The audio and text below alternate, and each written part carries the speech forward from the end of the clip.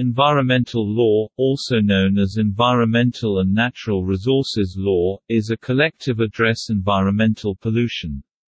A related but distinct set of regulatory regimes, now strongly influenced by environmental legal principles, focus on the management of specific natural resources, such as forests, minerals, or fisheries.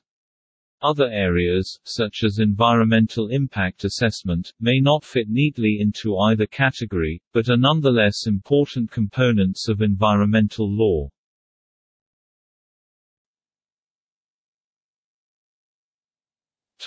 History Early examples of legal enactments designed to consciously preserve the environment, for its own sake or human enjoyment, are found throughout history. In the common law, the primary protection was found in the law of nuisance, but this only allowed for private actions for damages or injunctions if there was harm to land. Thus smells emanating from pigsties, strict liability against dumping rubbish, or damage from exploding dams. Private enforcement, however, was limited and found to be woefully inadequate to deal with major environmental threats, particularly threats to common resources. During the Great Stink of 1858, the dumping of sewerage into the River Thames began to smell so ghastly in the summer heat that Parliament had to be evacuated.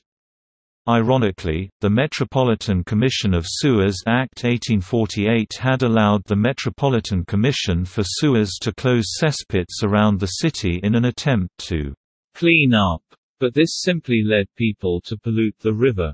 In 19 days, Parliament passed a further act to build the London sewerage system.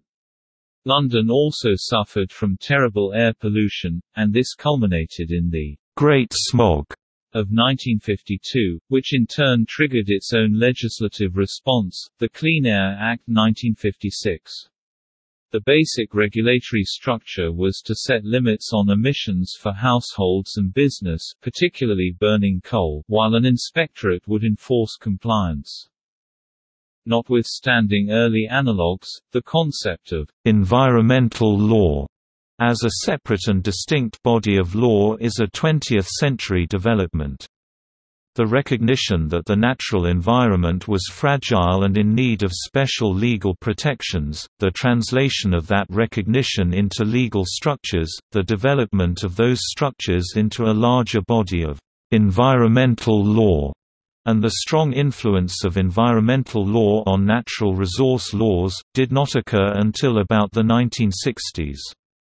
At that time, numerous influences, including a growing awareness of the unity and fragility of the biosphere, increased public concern over the impact of industrial activity on natural resources and human health, the increasing strength of the regulatory state, and more broadly the advent and success of environmentalism as a political movement, coalesced to produce a huge new body of law in a relatively short period of time.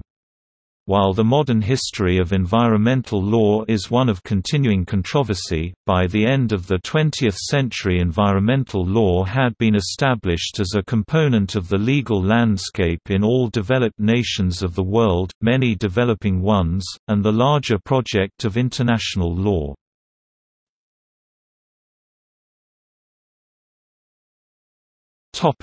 Pollution control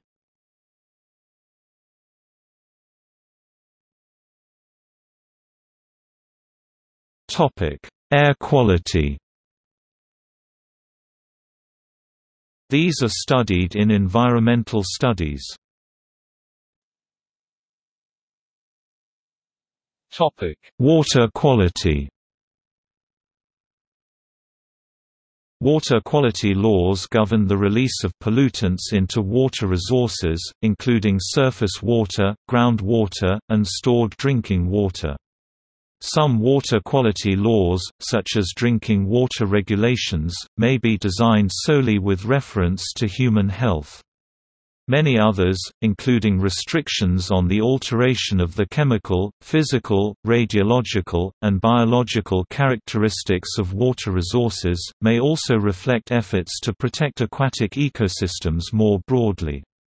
Regulatory efforts may include identifying and categorizing water pollutants, dictating acceptable pollutant concentrations in water resources, and limiting pollutant discharges from effluent sources. Regulatory areas include sewage treatment and disposal, industrial and agricultural waste water management, and control of surface runoff from construction sites and urban environments.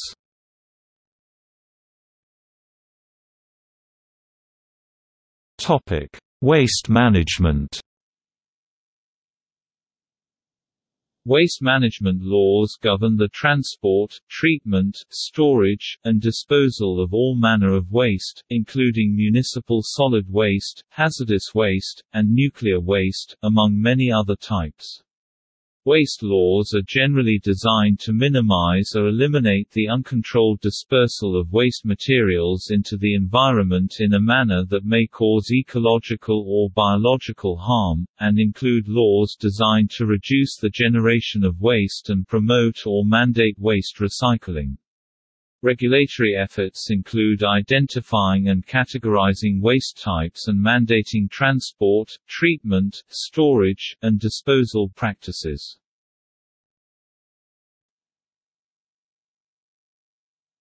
Topic: Contaminant cleanup. Environmental cleanup laws govern the removal of pollution or contaminants from environmental media such as soil, sediment, surface water, or groundwater. Unlike pollution control laws, cleanup laws are designed to respond after the fact to environmental contamination, and consequently must often define not only the necessary response actions, but also the parties who may be responsible for undertaking or paying for such actions. Regulatory requirements may include rules for emergency response, liability allocation, site assessment, remedial investigation, feasibility studies, remedial action, post-remedial monitoring, and site reuse.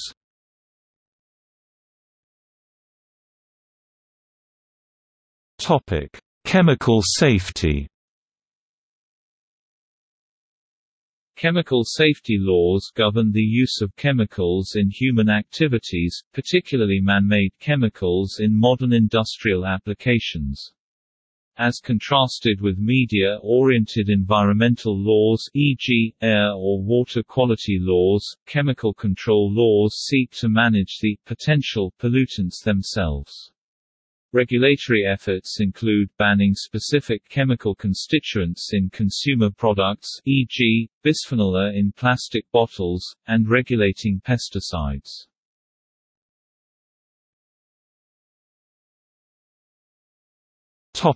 Resource sustainability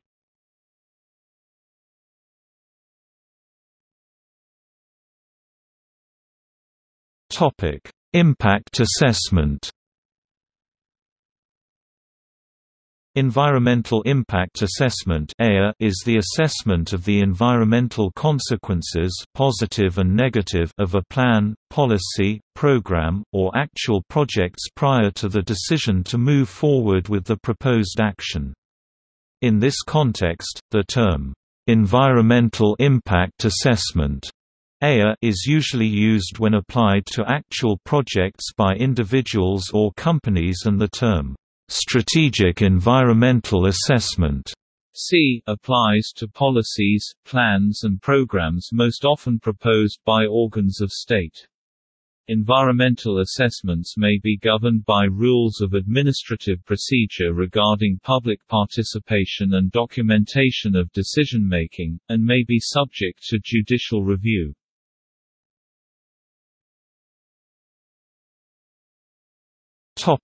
Water resources Water resources laws govern the ownership and use of water resources, including surface water and groundwater. Regulatory areas may include water conservation, use restrictions, and ownership regimes.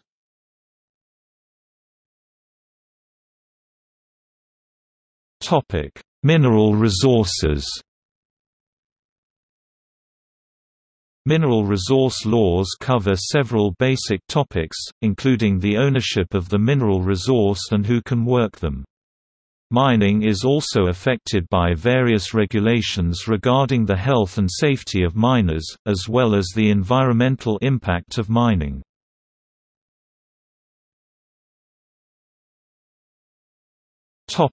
Forest resources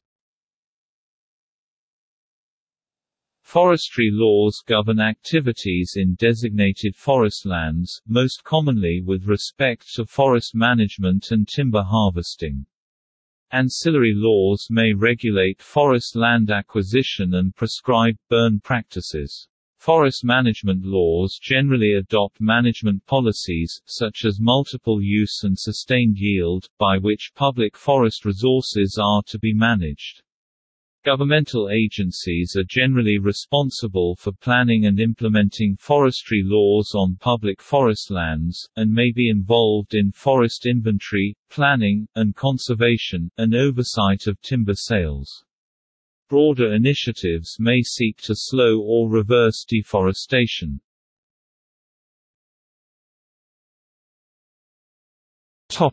Wildlife and plants.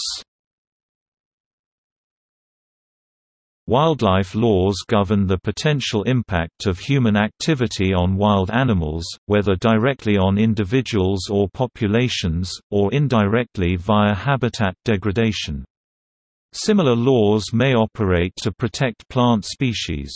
Such laws may be enacted entirely to protect biodiversity, or as a means for protecting species deemed important for other reasons.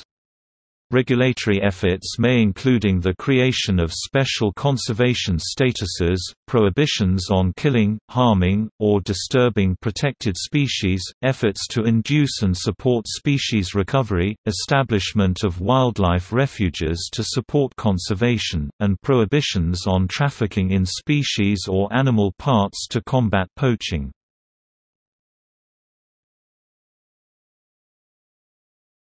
Topic Fish and game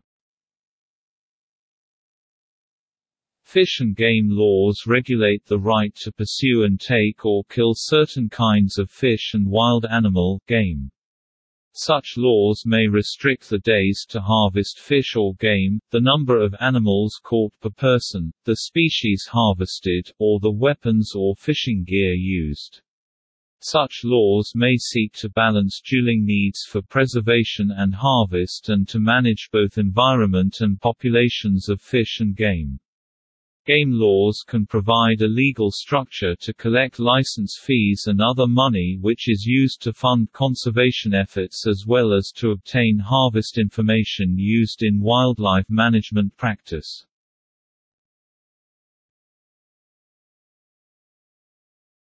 Topic: Principles Environmental law has developed in response to emerging awareness of and concern over issues impacting the entire world.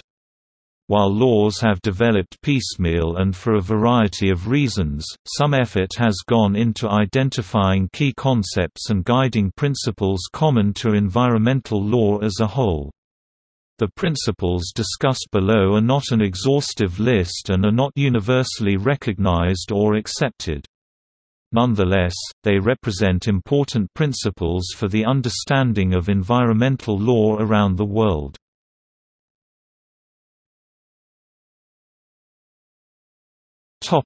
Sustainable development Defined by the United Nations Environment Programme as development that meets the needs of the present without compromising the ability of future generations to meet their own needs. Sustainable development may be considered together with the concepts of integration.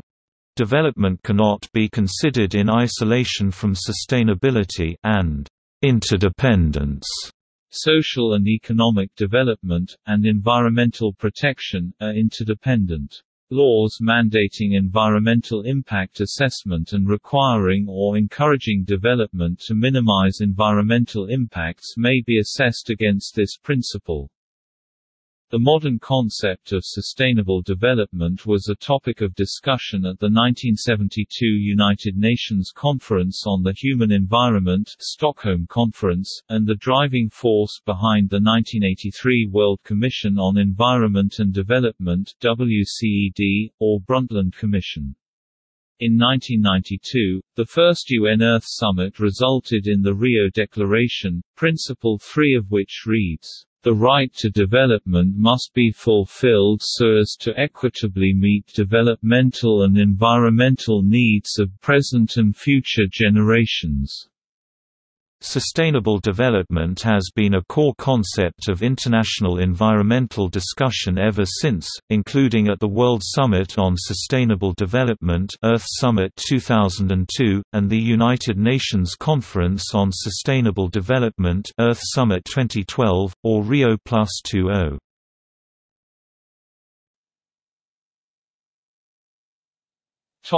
Equity defined by UNEP to include intergenerational equity. The right of future generations to enjoy a fair level of the common patrimony. And intragenerational equity. The right of all people within the current generation to fair access to the current generation's entitlement to the Earth's natural resources. Environmental equity considers the present generation under an obligation to account for long-term impacts of activities, and to act to sustain the global environment and resource base for future generations. Pollution control and resource management laws may be assessed against this principle.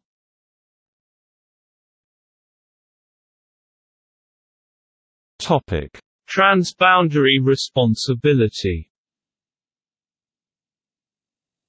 defined in the international law context as an obligation to protect one's own environment, and to prevent damage to neighboring environments, UNEP considers transboundary responsibility at the international level as a potential limitation on the rights of the sovereign state.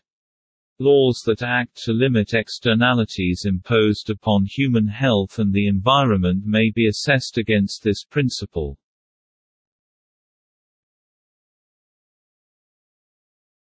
Topic: Public participation and transparency. Identified as essential conditions for accountable governments, industrial concerns, and organizations generally, public participation and transparency are presented by UNEP as requiring effective protection of the human right to hold and express opinions and to seek, receive and impart ideas, a right of access to appropriate, comprehensible and timely information held by governments and industrial concerns on economic and social policies regarding the sustainable use of natural resources and the protection of the environment without imposing undue financial burdens upon the applicants and with adequate protection of privacy and business confidentiality. And effective judicial and administrative proceedings. These principles are present in environmental impact assessment, laws requiring publication and access to relevant environmental data, and administrative procedure.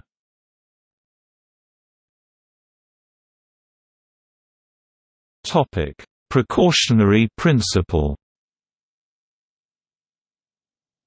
One of the most commonly encountered and controversial principles of environmental law, the Rio Declaration formulated the precautionary principle as follows in order to protect the environment, the precautionary approach shall be widely applied by states according to their capabilities.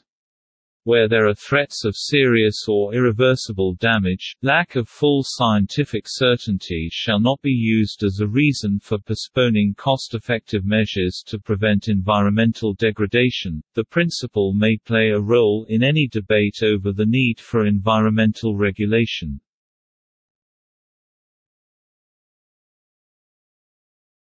Topic: Prevention The concept of prevention, can perhaps better be considered an overarching aim that gives rise to a multitude of legal mechanisms, including prior assessment of environmental harm, licensing or authorization that set out the conditions for operation and the consequences for violation of the conditions, as well as the adoption of strategies and policies emission limits and other product or process standards, the use of best available techniques and similar techniques can all be seen as applications of the concept of prevention.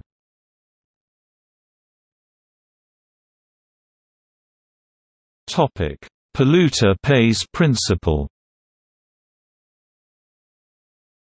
The polluter pays principle stands for the idea that the environmental costs of economic activities, including the cost of preventing potential harm, should be internalized rather than imposed upon society at large.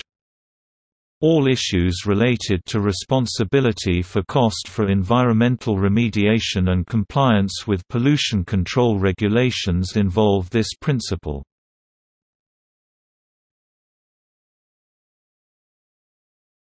Topic: Theory. Environmental law is a continuing source of controversy. Debates over the necessity, fairness, and cost of environmental regulation are ongoing, as well as regarding the appropriateness of regulations versus market solutions to achieve even agreed upon ends. Allegations of scientific uncertainty fuel the ongoing debate over greenhouse gas regulation, and are a major factor in debates over whether to ban particular pesticides. In cases where the science is well settled, it is not unusual to find that corporations intentionally hide or distort the facts, or sow confusion. It is very common for regulated industry to argue against environmental regulation on the basis of cost. Difficulties arise in performing cost-benefit analysis of environmental issues it is difficult to quantify the value of an environmental value such as a healthy ecosystem, clean air, or species diversity. Many environmentalists' response to pitting economy versus ecology is summed up by former senator and founder of Earth Day Gaylord Nelson. The economy is a wholly owned subsidiary of the environment, not the other way around. Furthermore, environmental issues are seen by many as having an ethical or moral dimension, which would transcend financial cost. Even so, there are some efforts underway to systemically recognize environmental costs and assets, and account for them properly in economic terms. While affected industries spark controversy in fighting regulation, there are also many environmentalists and public interest groups who believe that current regulations are inadequate, and advocate for stronger protection. Environmental law conferences, such as the annual Public Interest Environmental Law Conference in Eugene, Oregon, typically have this focus, also connecting environmental law with class, race, and other issues. An additional debate is to what extent environmental laws are fair to all regulated parties. For instance, researchers Preston Teeter and Jorgen Sandberg highlight how smaller organizations can often incur disproportionately larger costs as a result of environmental regulations, which can ultimately create an additional barrier to entry for new firms, thus stifling competition and innovation.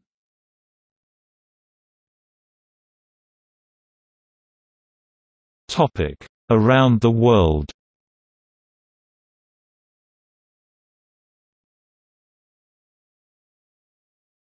Topic: International law. Global and regional environmental issues are increasingly the subject of international law. Debates over environmental concerns implicate core principles of international law and have been the subject of numerous international agreements and declarations. Customary international law is an important source of international environmental law. These are the norms and rules that countries follow as a matter of custom and they are so prevalent that they bind all states in the world. When a principle becomes customary law is not clear-cut and many arguments are put forward by states not wishing to be bound.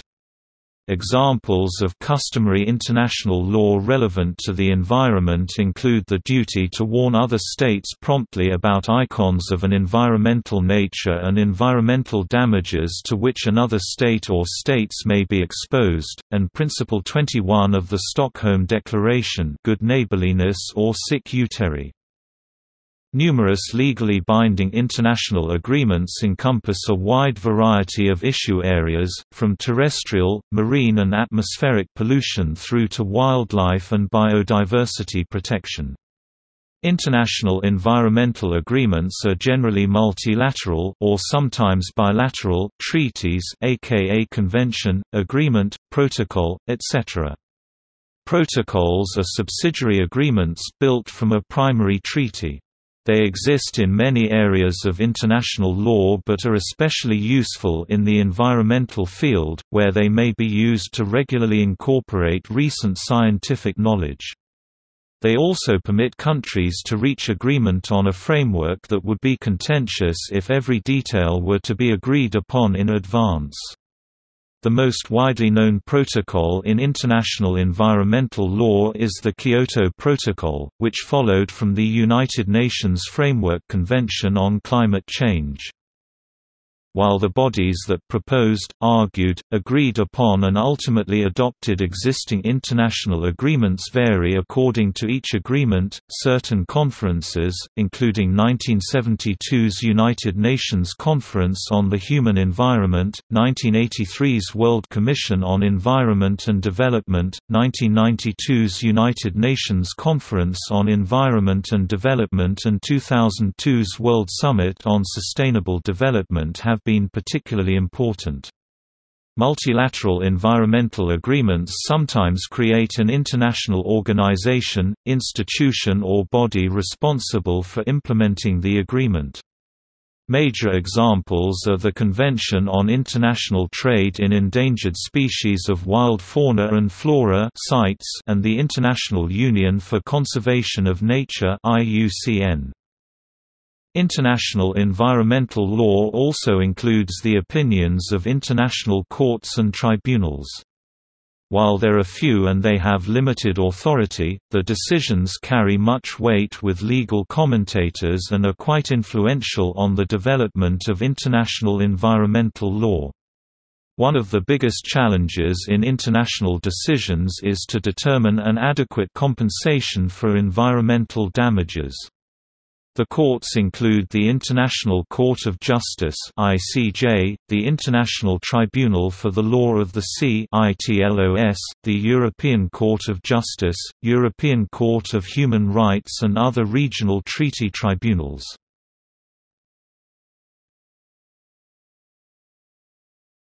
Topic: Africa According to the International Network for Environmental Compliance and Enforcement INECE, the major environmental issues in Africa are drought and flooding, air pollution, deforestation, loss of biodiversity, freshwater availability, degradation of soil and vegetation, and widespread poverty. The U.S. Environmental Protection Agency EPA, is focused on the growing urban and industrial pollution, water quality, electronic waste and indoor air from cookstoves. They hope to provide enough aid on concerns regarding pollution before their impacts contaminate the African environment as well as the global environment. By doing so, they intend to protect human health, particularly vulnerable populations such as children and the poor. In order to accomplish these goals in Africa, EPA programs are focused on strengthening the ability to enforce environmental laws as well as public compliance to them. Other programs work on developing stronger environmental laws, regulations, and standards.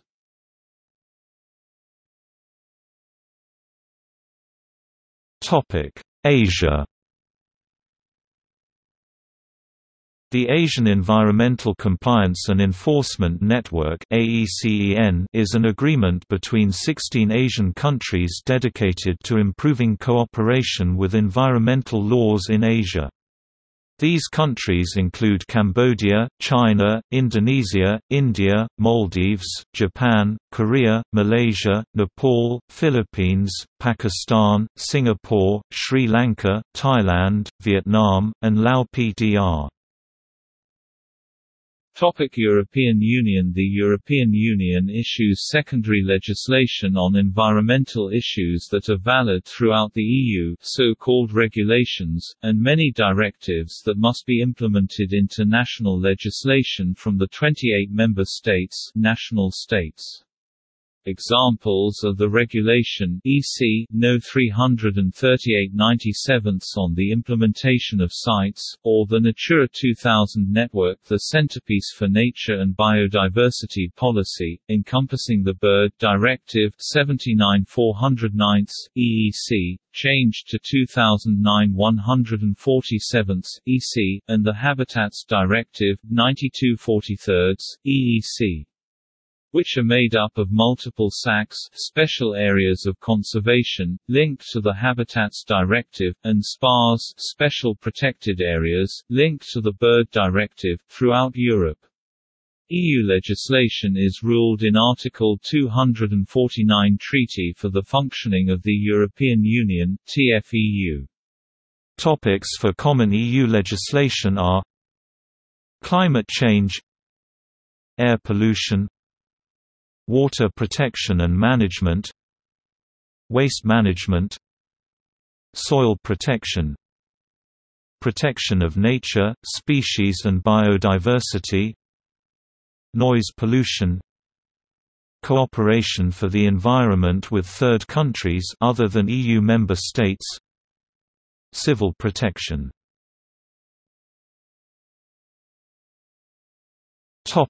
Middle East The U.S. Environmental Protection Agency is working with countries in the Middle East to improve environmental governance, water pollution and water security, clean fuels and vehicles, public participation, and pollution prevention.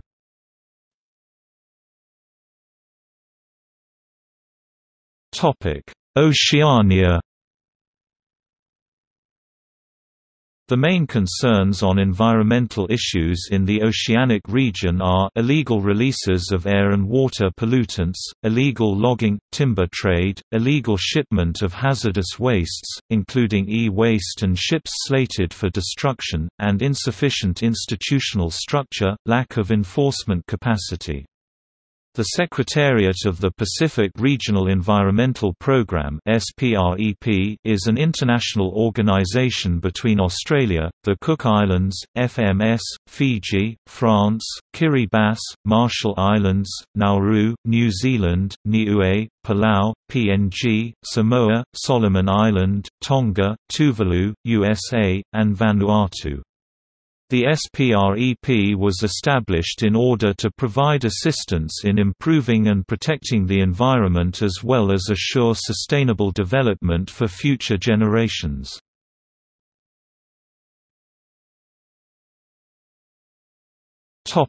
Australia The Environment Protection and Biodiversity Conservation Act 1999 is the centrepiece of environmental legislation in the Australian government. It sets up the legal framework to protect and manage nationally and internationally important flora, fauna, ecological communities and heritage places. It also focuses on protecting World Heritage properties, national heritage properties, wetlands of international importance, nationally threatened species and ecological communities, migratory species, Commonwealth marine areas, Great Barrier Reef Marine Park, and the environment surrounding nuclear activities. Commonwealth v Tasmania 1983, also known as the Tasmanian Dam case is the most influential case for Australian environmental law.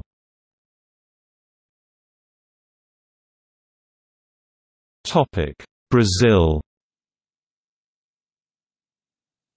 The Brazilian government created the Ministry of Environment in 1992 in order to develop better strategies of protecting the environment, use natural resources sustainably, and enforce public environmental policies. The Ministry of Environment has authority over policies involving environment, water resources, preservation, and environmental programs involving the Amazon.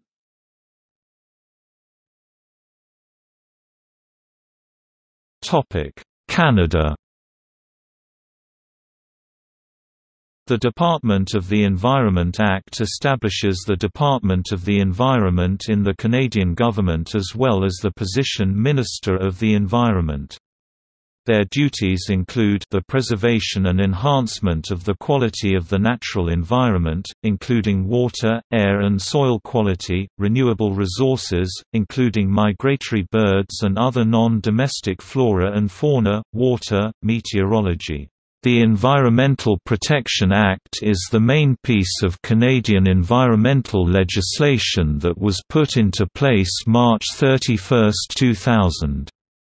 The Act focuses on respecting pollution prevention and the protection of the environment and human health in order to contribute to sustainable development. Other principal federal statutes include the Canadian Environmental Assessment Act, and the Species at Risk Act. When provincial and federal legislation are in conflict federal legislation takes precedence, that being said individual provinces can have their own legislation such as Ontario's Environmental Bill of Rights, and Clean Water Act.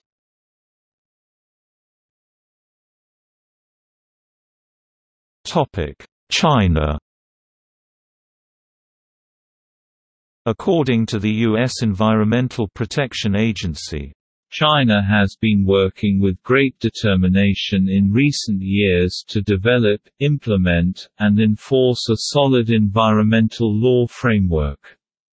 Chinese officials face critical challenges in effectively implementing the laws, clarifying the roles of their national and provincial governments, and strengthening the operation of their legal system. Explosive economic and industrial growth in China has led to significant environmental degradation, and China is currently in the process of developing more stringent legal controls. The harmonization of Chinese society and the natural environment is billed as a rising policy priority.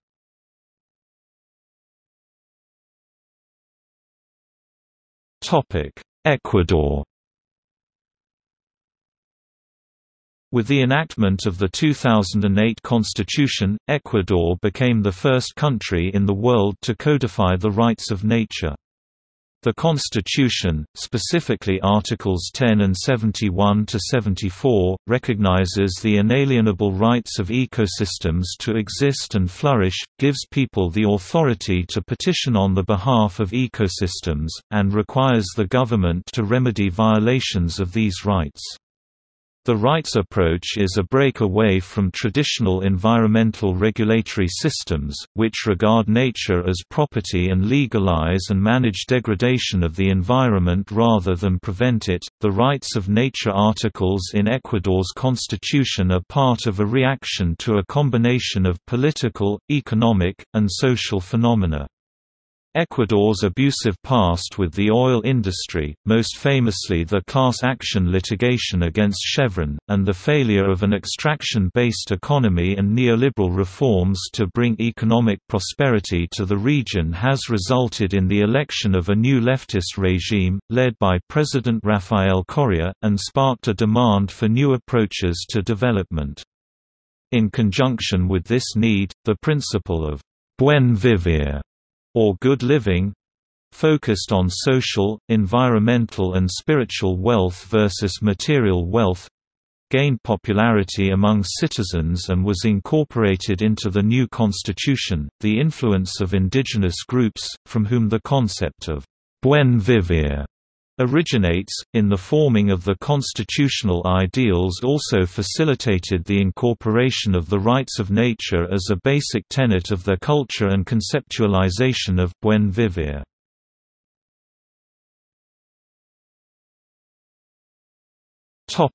Egypt The Environmental Protection Law outlines the responsibilities of the Egyptian government to preparation of draft legislation and decrees pertinent to environmental management, collection of data both nationally and internationally on the state of the environment, preparation of periodical reports and studies on the state of the environment, formulation of the national plan and its projects, preparation of environmental profiles for new and urban areas, and setting of of standards to be used in planning for their development, and preparation of an annual report on the state of the environment to be prepared to the President.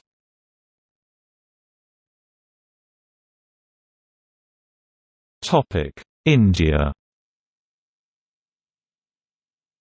In India, environmental law is governed by the Environment Protection Act, 1986.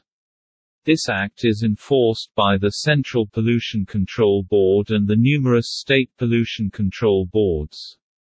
Apart from this, there are also individual legislations specifically enacted for the protection of water, air, wildlife, etc. Such legislations include the Water, Prevention and Control of Pollution, Act, 1974 the Water, Prevention and Control of Pollution Cess Act, 1977 The Forest, Conservation, Act, 1980 The Air, Prevention and Control of Pollution, Act, 1981 Air, Prevention and Control of Pollution Union Territories, Rules, 1983 the Biological Diversity Act, 2002 and the Wildlife Protection Act, 1972 Batteries, Management and Handling Rules, 2001 Recycled Plastics, Plastics Manufacture and Usage Rules, 1999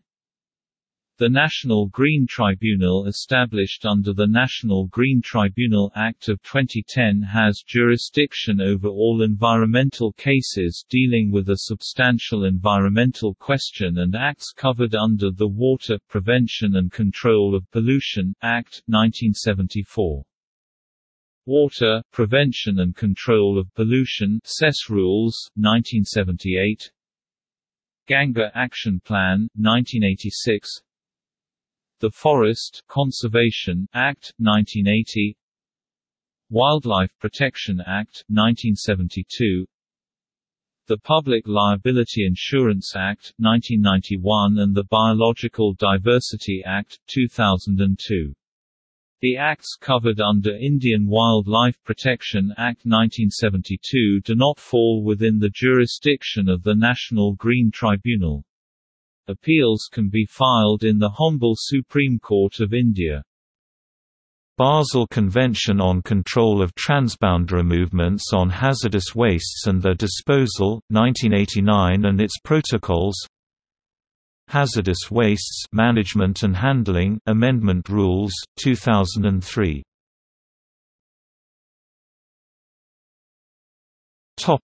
Japan The Basic Environmental Law is the basic structure of Japan's environmental policies replacing the Basic Law for Environmental Pollution Control and the Nature Conservation Law.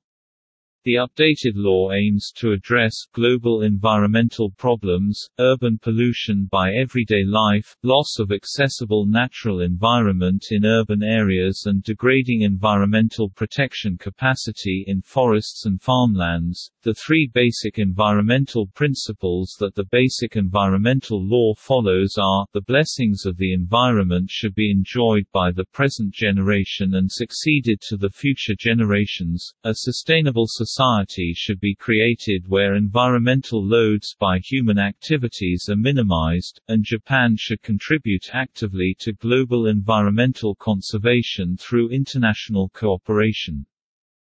From these principles, the Japanese government have established policies such as environmental consideration in policy formulation, establishment of the Basic Environment Plan which describes the directions of long-term environmental policy, environmental impact assessment for development projects, economic measures to encourage activities for reducing environmental load, improvement of social infrastructure such as sewerage system, transport transport facilities etc., promotion of environmental activities by corporations, citizens and NGOs, environmental education, and provision of information, promotion of science and technology.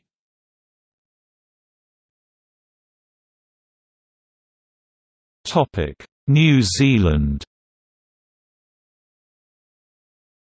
The Ministry for the Environment and Office of the Parliamentary Commissioner for the Environment were established by the Environment Act 1986.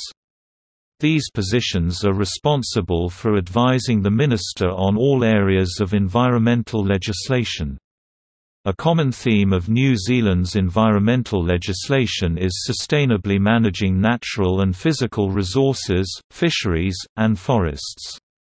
The Resource Management Act 1991 is the main piece of environmental legislation that outlines the government's strategy to managing the environment, including air, water soil, biodiversity, the coastal environment, noise, subdivision, and land use planning in general.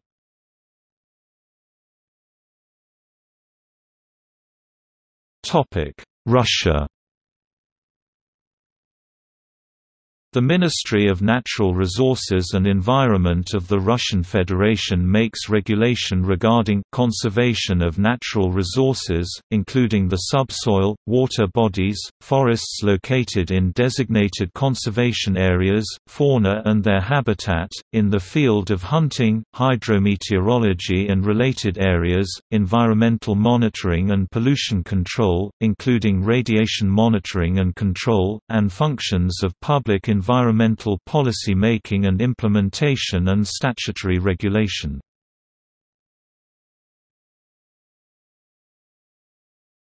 Topic South Africa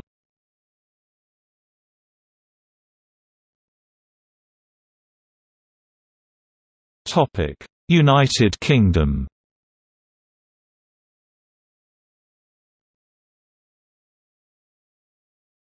Topic United States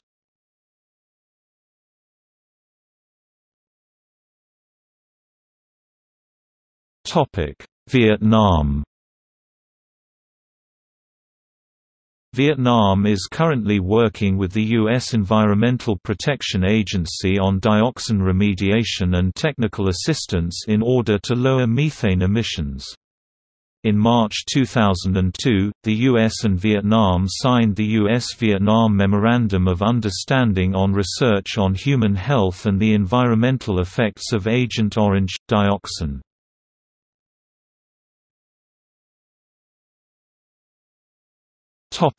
See also UK enterprise law Environmental racism Environmental racism in Europe Indigenous rights International law List of environmental law journals Notes